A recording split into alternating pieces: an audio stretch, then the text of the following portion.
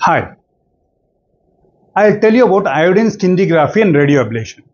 Now, you have already undergone total thyroidectomy and near total thyroidectomy. And we don't want any thyroid tissue to left behind in the neck. So we have to confirm that.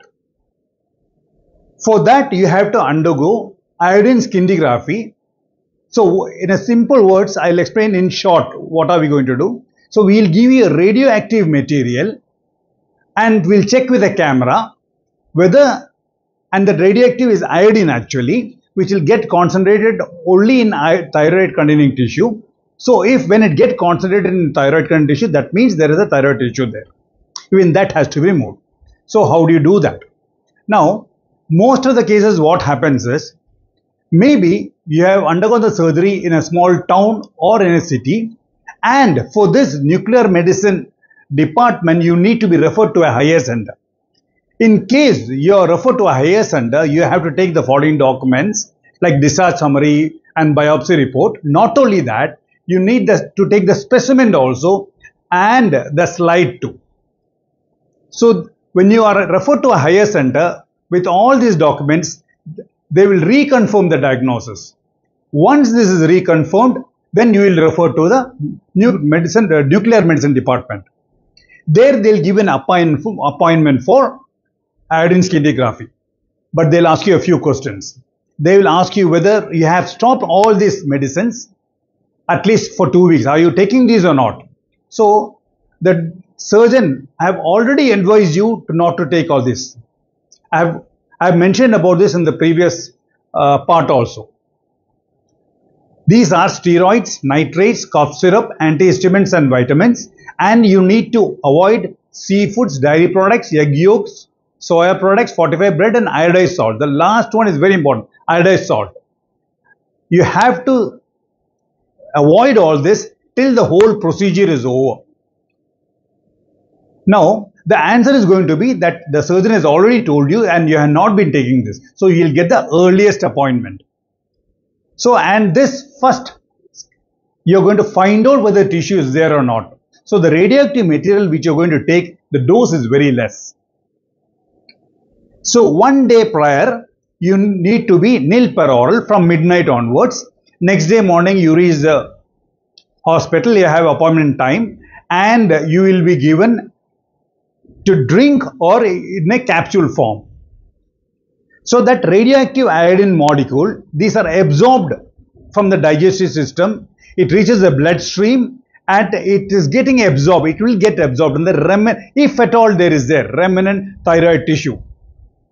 Now, when it gets considered in the remnant thyroid tissue, we have to know the quantity with the help of gamma camera. This is how it looks like. And we have a report saying that either it is positive or it is negative. Whatever the case is, now coming to the advice after the surgery, yeah, as mentioned, it's a OPD procedure. You're being discharged home, you're sent home. So when you travel back home, you have to maintain distance from others because you have taken in radioactive material which is be, which will be emitted from your body. So anybody who is coming near you may be affected.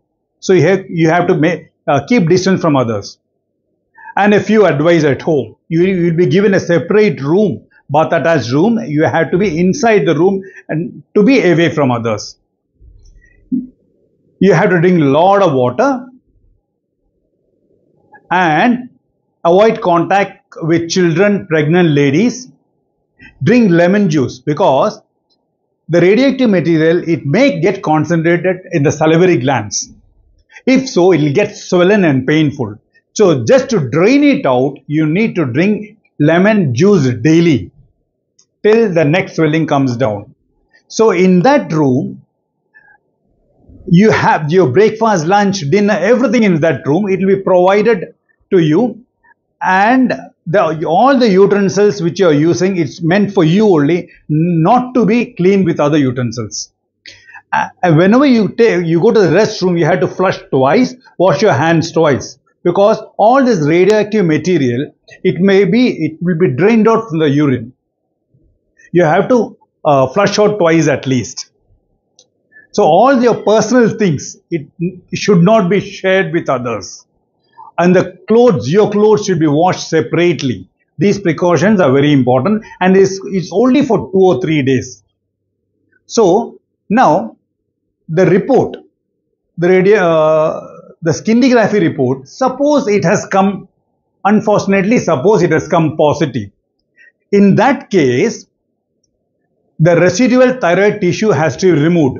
So what we are going to do is, we are going to give you a radioactive material in a higher dose so that the whatever thyroid gland tissue is left behind, it can be burned out, ablated.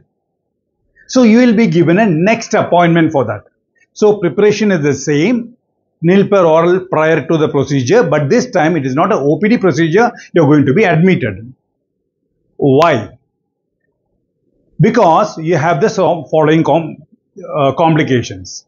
Now, when you the same like previously, they'll give you a capsule or a drink which will be absorbed in, from the intestine. It reaches the remaining thyroid tissue in the neck and because of the higher concentration, the radiation destroys the residual cancerous tissue.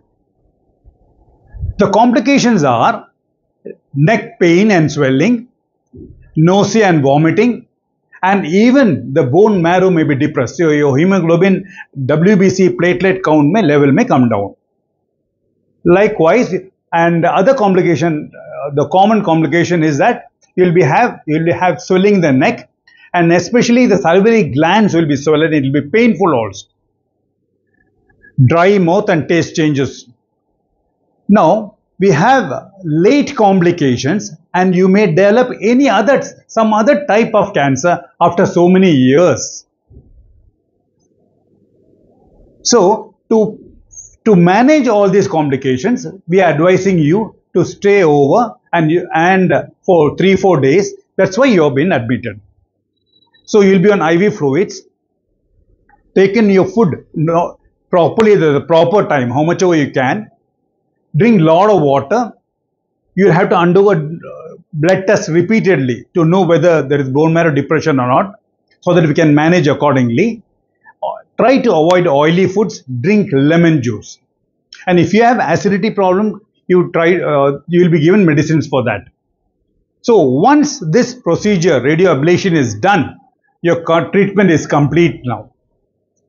So you will be advised to take L-thyroxine that will be taken one, the, the specific uh, dosage. It has to be taken in the morning on empty stomach as soon as you get up, get up in the morning with sips of water.